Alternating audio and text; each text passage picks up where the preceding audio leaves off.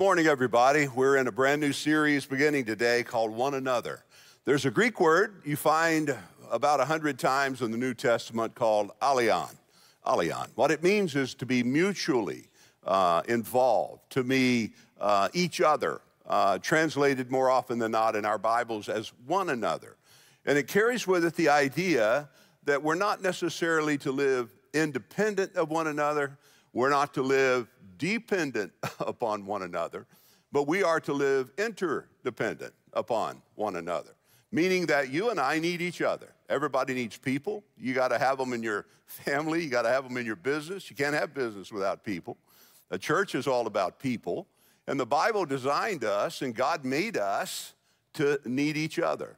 In fact, in Romans 14, verse 7, the Bible says, None of us lives to ourselves alone, and none of us die to ourselves alone.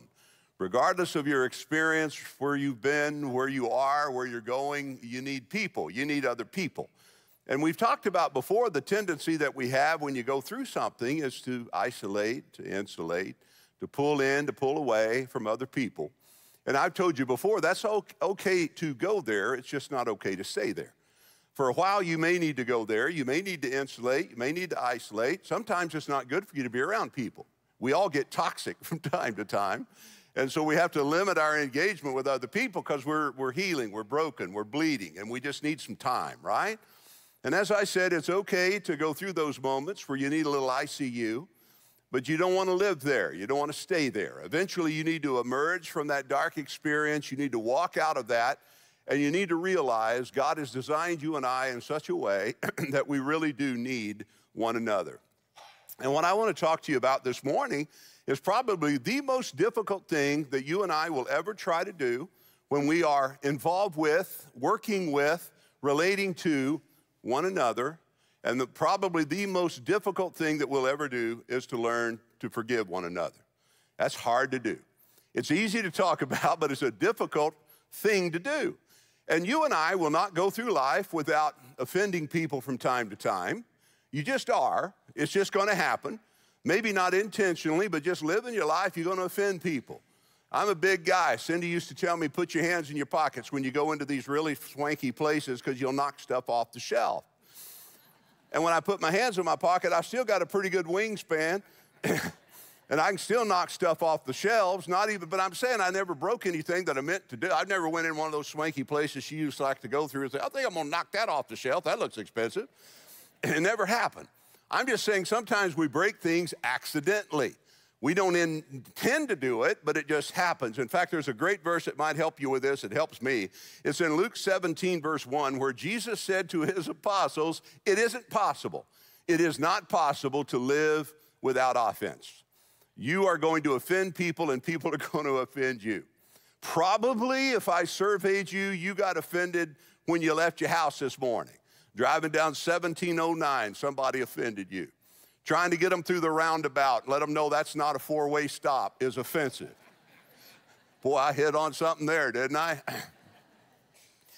Understanding the left lane is for passing only can be offensive from time to time, right? I'm just saying we all go down that road from time to time where we offend people and we don't mean to, it just happens and people offend us, they don't mean to, it just happens. And the Savior Himself said, We will not live our lives apart from offense.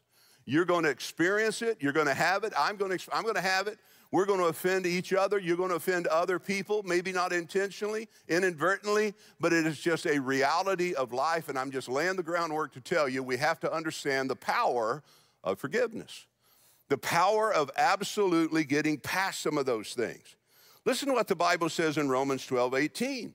If possible, if possible, sometimes it's not, but if possible, listen to what he said, if possible, as far as it depends on you, be at peace with all people. He said, get along as much as you can. If it's possible, I even love the way he worded that. If it's possible, if as much as it depends on you, you can't handle how other people treat you, you can handle how you react to other people. So he's saying here, look, if it's possible, as far as it depends on you, try to live at peace with other people. Just try to get along. You, you don't have to uh, litigate every uh, offense. You don't have to call somebody out over everything they've done to you. You, you, you don't have to die on every hill that you come up on. And I'm just suggesting to you that sometimes the best thing you can do is just walk away from a thing. Just say it's just not worth it. It's not worth the emotional energy I'm about to expend on this. And you just simply walk away. I mean, the Bible says if it's possible, um, as much as it depends on you, live at peace with all people. And all of these things impact us in this realm, in this area of offenses. Everybody in the room, what I do know about all of us, everybody in the room has at some point been offended, and sometimes very deeply so. Probably you don't have to think very much, go very far in your mind to think of someone who has hurt you deeply. Uh, I, I, saw where a psychologist said, uh, in studying churches, he said, in the average church on any given Sunday, at least one third of the congregation attending the service is angry about something. One third is angry about something. Look at the person on your left, right quick. Would you look at them? Just look at that person on your left. Look at the person on your right. Look them over. Just look at them real good. Do they look mad? Well, if not, it might be you. one third, one out of three. that means sometimes we walked into this room just, just snow white, downright, blazing bright, mad at something or mad at somebody. And that's okay, it's a part of life. You will not get through life without offense. Jesus said that. It's what you do with the offense, how long you allow it to remain. How long will you allow it to affect you before you do something about that thing? Now, there's certain things that we can do with an offense, several things, but I thought of three. Uh, one of the things you can do is just bury it, act like it doesn't exist, just deny it, just try to walk away from it. I said, and sometimes you can and sometimes you can't. You try to rationalize it. You know what, what happens when you rationalize? You tell yourself rational lies. You simply say, I'm not as hurt as bad as I thought I am. This is not as rough as I thought it was. And yet it keeps coming up in your mind because you've buried something that's still alive. Some things you can't walk away from, and it's the things that you try to bury that remain alive are some of the things you can't walk away from. So you try to bury it. Other people try to blame other people. Uh, they don't own any responsibility for anything, little narcissistic in their approach to life, and they just simply try to blame everybody else for the problems that they're facing. That's, by the way, that's as old as the Garden of Eden. You remember when Adam and Eve, when sin entered the picture, and you remember when God called them out on sin, and you remember when Eve was called out on it? She said, God, or, or she called Adam out on it. He said, God, it was the woman that you gave me. it was her, and that's your fault because she gave, you gave her to me, right? It's the blame game. In fact, the Bible talks about this principle in, uh, in the book of Proverbs, chapter 19 and verse 3. He talks about the fact that if you don't resolve a conflict, you blame others or you try to bury it, it becomes like a self inflicted wound. Like it hurts you more than it hurts anyone else. And then a third option that people have is they just beat themselves up about it. They just live with a guilty conscience. They live with resentment from the offense. And what you'll find is when you begin to beat yourself up, you'll find that eventually that will have a negative effect on you emotionally and even physiologically. In Psalm 38, David's guilt brought about depression what he was suffering and what he was struggling with, and he didn't deal with it. He buried it. He was blaming everybody else. He wasn't taking responsibility, and all of a sudden, all in, in some ways, I know there's different forms of depression, but some forms of depression are simply nothing more than anger turned inward. It's when you just turn it in on yourself. You know what the problem with beating yourself up about something? You know what the big problem is? You don't know when to stop. You just keep beating yourself up and beating yourself up, and people that beat themselves up typically don't know when to stop. And so I'm just saying there is a way to deal with this that is healthy, that is good theology, it is good psychology, and that is understanding the power of forgiveness. In fact, if you have a Bible, look with me in Ephesians chapter 4. There are many places we could go, but this is a, a, a, great passage. It really underscores what I want to talk to you about. Ephesians 4, look down in verse 30 and do not grieve the Holy Spirit of God, with whom you are sealed for the day of redemption. Now, let me stop long enough to say that goes to the idea when I tell you you're saved eternally, once you're saved, you're always saved. Underscore that. That's not really where I'm going today, but it's just there, and I, I you know, it's just a, it, it's a low-hanging fruit. you are sealed to the day of redemption. How long is your salvation good? Until the day of redemption. What does that mean? That means the seal that seals you in your relationship with Christ is the Holy Spirit. He's the seal. And your and my salvation is as good as the seal is good. If the seal can be broken, what's in the container will spoil. But since the seal is the Holy Spirit, the seal cannot be broken because God cannot lie. There's nothing that he, that he cannot do. And so we are sealed when, until, when, when, we, when will we ultimately be redeemed? When we step into the presence of God. Once we're in the presence of God, our salvation is finally made complete. When we see him, John, 3 John says, we will be like him, for we will see him as he is. So that had nothing to do with what I want to talk to you about. That was low hanging fruit. That's free like the rest of it. Let's look verse 31. Instead, notice it now get rid of all bitterness now, he wouldn't tell us to do something that's not within our power or ability to do. You say, Well, I know bitter people or I'm a bitter person. Well, the Bible says we have the power to deal with our own bitterness. So get rid of bitterness, uh, get rid of rage and anger, brawling and slander, along with every form of malice. How do you do that? 32. Be kind and compassionate, here it is, to one another and how are we consistently able to do that? Here it is forgiving one another. What is the basis of this forgiveness? Just as in Christ God forgave you. Just as God in Christ forgave us, we're to forgive one another.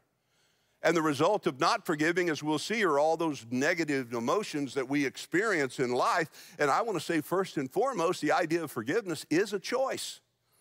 You and I have a choice to forgive or we have a choice not to forgive. It's within your power, it's within your ability to forgive. Have you ever heard someone say this, or maybe you've said this before? I just can't forgive them. Really, what we ought to say, and be honest with us, what we ought to say is, I won't forgive. Because when I say I can't forgive, then I'm forgetting the idea that once I'm forgiven, once God in Christ has forgiven me, He has given me the power, the power, the ability to forgive other people. Now, I'll say this about that.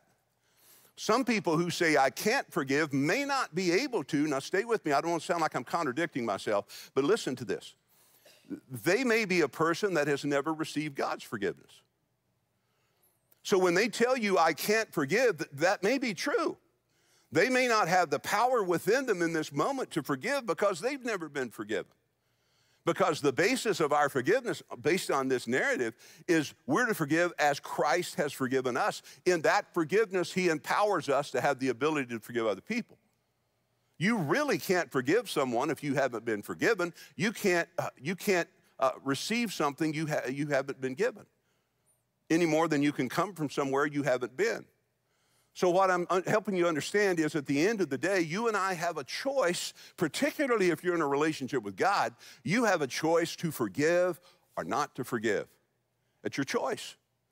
And I'm saying it's not easy.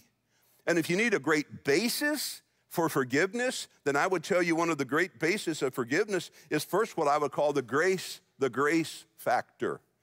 Verse 32, we're to forgive as he has forgiven us. Did we deserve forgiveness? No. what is grace? If you were to look at acrostic on grace, G R A C E, the acrostic would be God's riches at Christ's expense, grace. Grace is simply defined as unmerited favor. Grace is the favor of God that I did not deserve. It was God being kind to me, God being good to me. Romans 5 8, while I was still in my sins, Christ died for me. That's why we tell you Christianity is not behavior modification. you don't get your act together and come to Jesus. You come to Jesus with your messed up self. you come to Jesus with your sinful self. The old hymn says, Just as I am, without one plea, but that your blood was shed for me. O Lamb of God, I come. That's how you come to Jesus. How does he forgive you? By his grace not based on our, uh, on our merit, because we have none. But we are forgiven based upon his love for us. How do we forgive other people? The grace factor. Do we give it because they deserve it? Heavens no. Most of the people that you'll struggle with forgiving absolutely don't deserve forgiveness. And by the way, when you forgive them, that doesn't mean they still have access to you. Remember, I told you last week, we are to love everyone, but access is earned. And when someone breaks your heart and someone betrays your confidence, You can forgive them, but that doesn't mean everything picks up where it left off. What's that? Burn me once, shame on you, burn me twice, shame on me. That's not in the Bible, but that'd be a good one. and I'm just suggesting to you that some of the things you learn by being hurt and betrayed is you learn trust is earned. And just because you forgive someone, that doesn't mean uh, they deserve it, and that doesn't mean everything is going to return to what it was.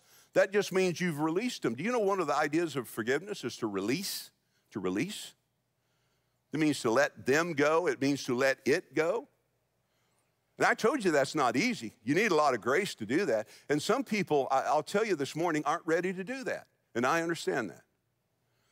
Because anytime you talk about this subject, I'll get someone that will say, You have no idea what happened to me. You have no idea what I've been through. And you know you're right. And I'm not minimizing at all how hard this is because some of you guys and some watching online, you have been hurt deeply. You have been betrayed completely. You've had someone do some horrific things to you. Maybe as a child, they've done some things to you that were just horrific. And they need the millstone tied around their neck, and they need to be thrown out the middle of Grapevine Lake or somewhere. That's not in the Bible, but I'm trying to relate. Well, the other part is the location is off. But I'm saying I get that. And you may not be, you, listen, you may not be ready to do that yet. It, today may not be the day. I'm just saying this to file this away in your mind and know at some point God may bring you to that place where you realize holding on to it is hurting you more than it's ever hurting them. And you may, you may need to say, It's not that I love them, but it is that I love me, and I'm going to let this go. I'm to release it. I know why some people don't, because you feel like they'll get away with it, right? As long as I can hold on to that, somehow you feel like they're making them pay. But that's not what's happening. They're skipping skippity doodah right on down their life and they're living their life and they're not even thinking about you and you're holding on and harboring something that is affecting you. And let me tell you something your heavenly Father is very capable of taking care of you. The Bible says time and time again, vengeance is mine, says the Lord. I will repay. I mean, it's a mystery to me why God allows some of the things that happen to us to happen to us. You say, why did he let the abuse happen to begin with? I don't know. I don't know. That's a mystery. It's one of those things that if you hang up on that, it'll rob you of your joy, it'll affect your peace, it'll cloud your view of God. What you have to get to is that place to realize God is sovereign, I'm not. He knows everything, I don't. We're in a sinful world with, with corrupt and sinful people, and good things happen to bad people sometimes, and bad things happen to good people sometimes.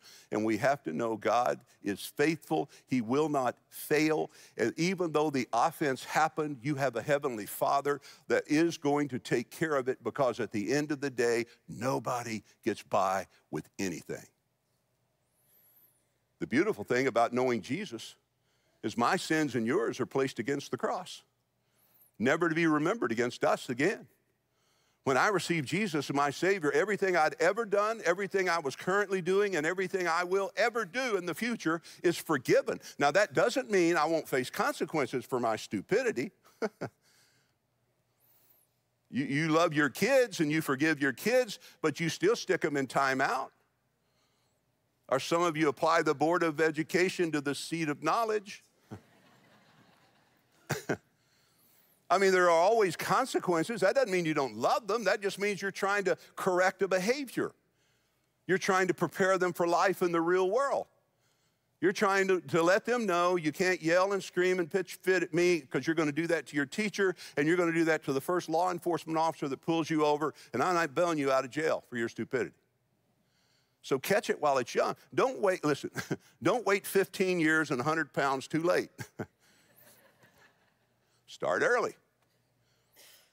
And I'm just suggesting to your heart this morning that it takes time to get to a place where you can let some stuff go. But when you are releasing them, you're releasing them with your Heavenly Father saying, I got you and I got this, trust me.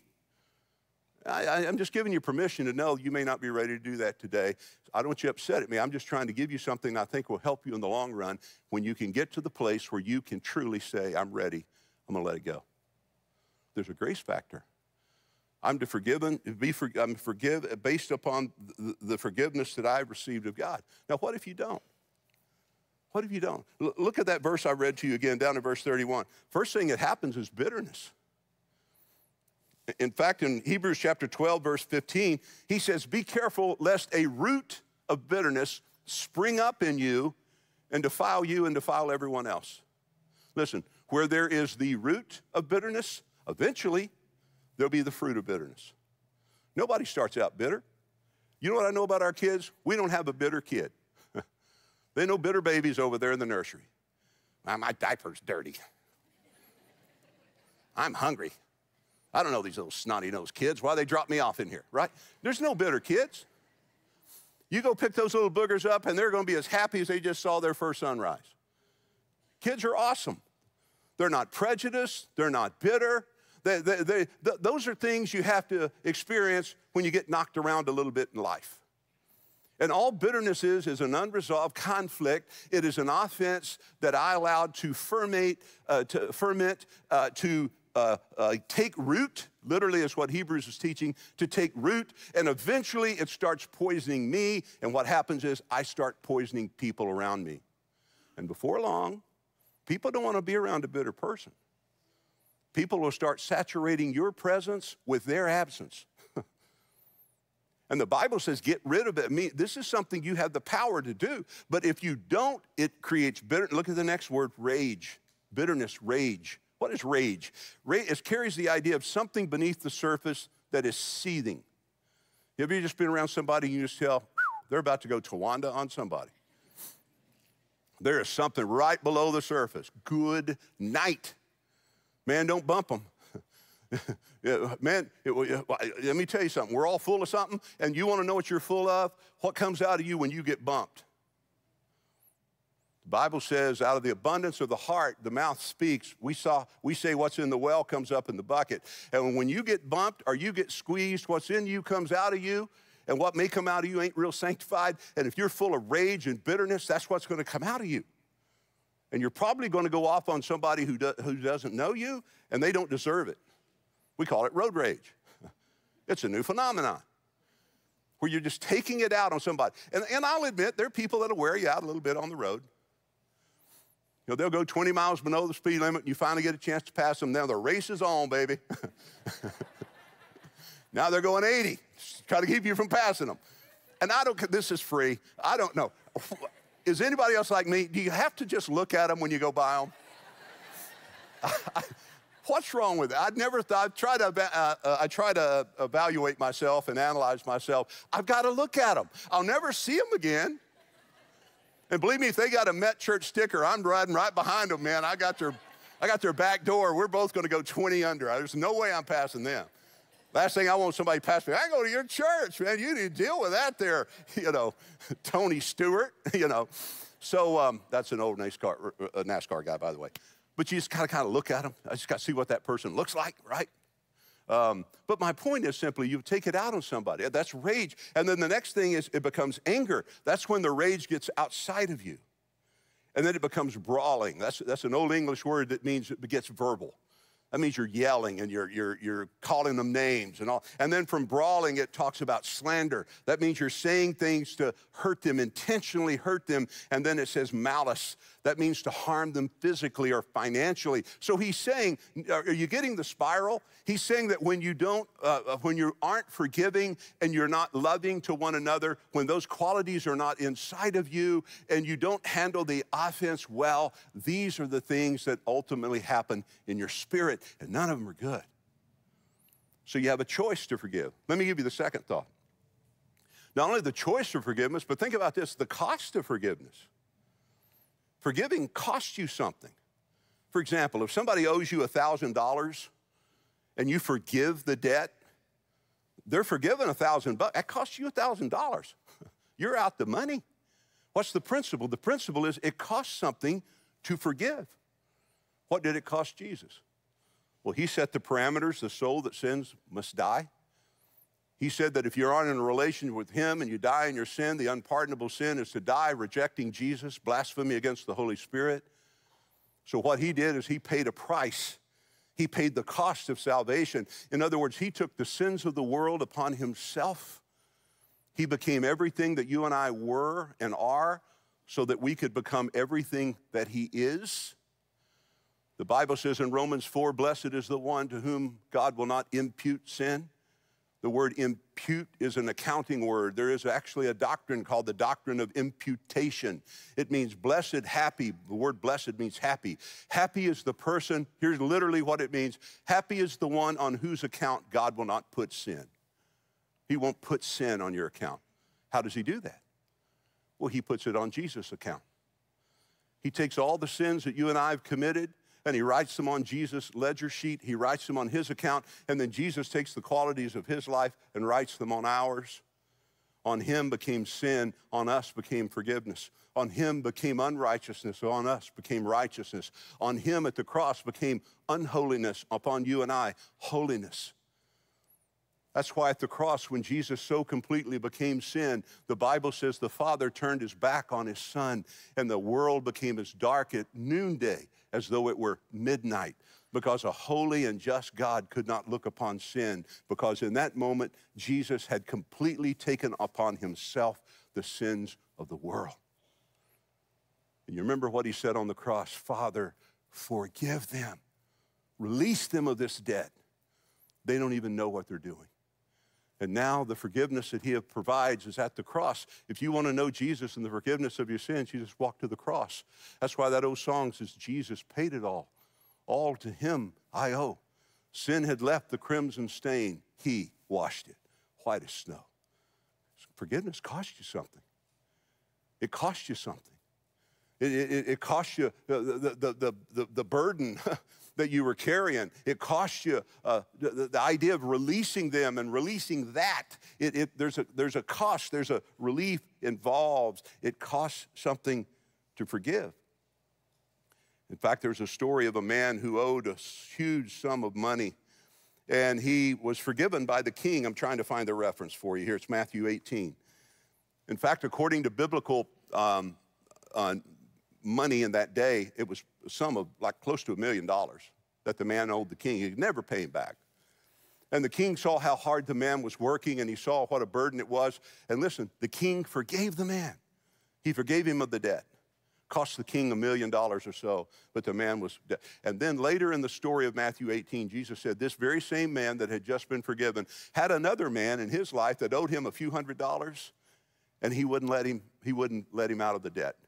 And when the king heard it, he reversed, he reversed the debt and made the guy pay off the uh, original loan because he said, I've forgiven you much and you're not willing to forgive little.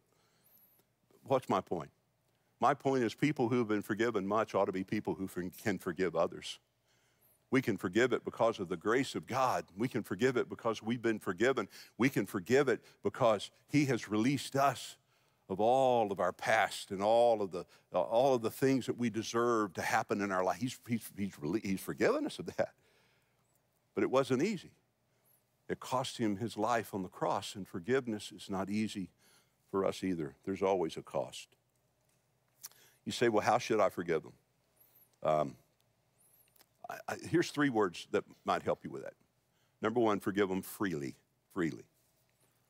You, you heard the old expression when you bury the hatchet, don't leave the handle sticking out of the ground. Uh, that, that's kind of what I'm driving at freely. In other words, don't hold it over their head. Once you've forgiven someone, don't remind them every time you have a disagreement. Oh, you know that time back in 75, you know. If you've really forgiven them, just walk away from it, let it go, don't bring it up anymore. Otherwise, they may feel like you really didn't forgive them. So do it freely.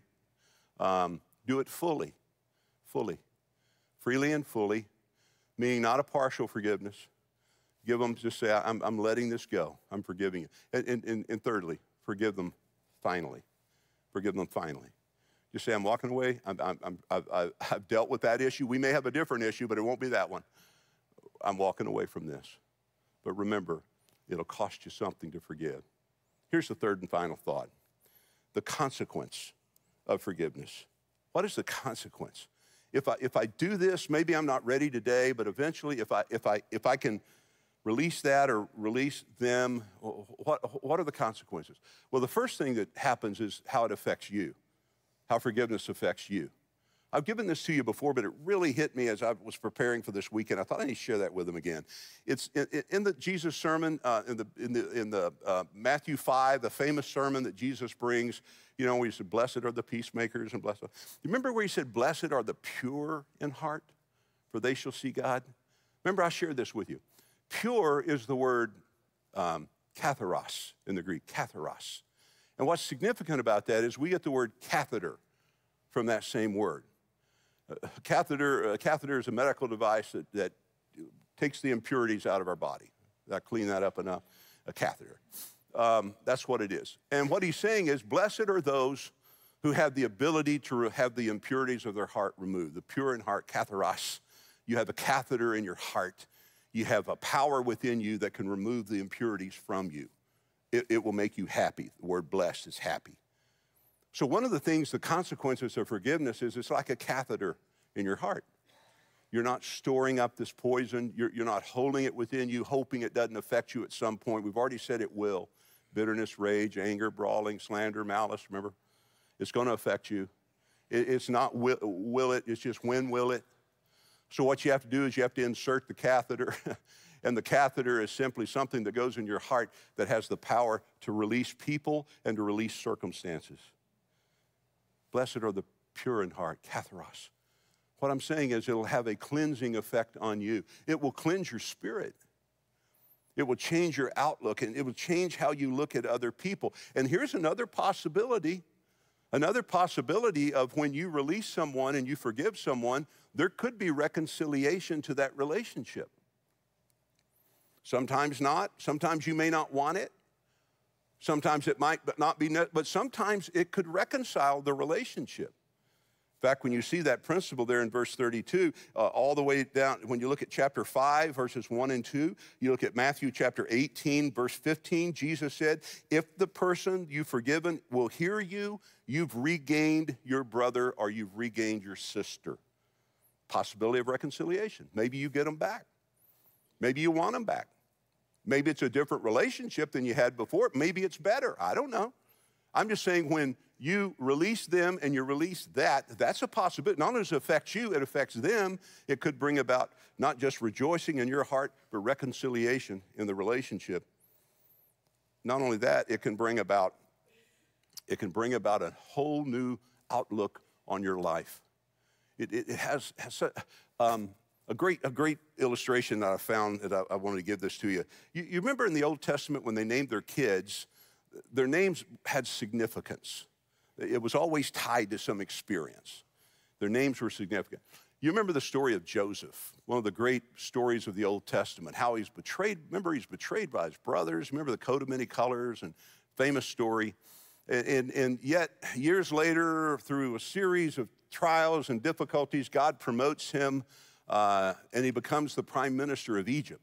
He becomes Pharaoh's right hand man and there's a famine in the land, remember, and his brothers reach out not knowing that was Joseph. They thought Joseph died years ago, and now Joseph's the prime minister of Egypt, and they come stand before him.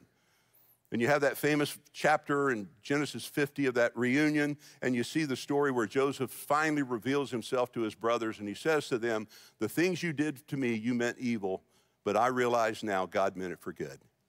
It took some time, it, it, he wasn't ready. I, I, promise you, when he was in the pit, he wasn't thinking forgiveness. When they first, for, he was thinking, man, if I get out of here, I'll make those boys pay, right? He wasn't ready. That's why I'm saying some of you may not be ready. But after a period of time, he obviously was able to release it because when he saw them, he had the power to kill them, and he didn't. You, you know how you can tell you've forgiven someone? Is when you run into them in a restaurant, you don't want to kill them. That's a little extreme, I know. But you get my point. Or you can run into them in a store somewhere and you don't just grit your teeth and walk the other way or pray to God they didn't see you. You can just walk right up to them and speak to them. Why? Because you've let it go. That's the way you know. And if you hadn't really fully or it's not time, you'll know. Wait till you see them and all the needles in your life just went swing over in the red zone. And you're like, okay, we ain't ready for this. I'm gonna, I'm gonna walk away. And, and, and, that's good. If, if, if it's possible, live at peace with all people. Sometimes it's not, walk away. What's my point? My point is Joseph had forgiven him. And he, here's where I'm going with all that. One of the consequences of forgiving him is he had two sons.